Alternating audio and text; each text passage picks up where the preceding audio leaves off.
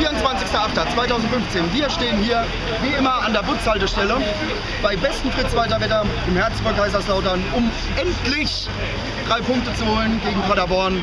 Und wir hoffen, dass es Desmol klappt.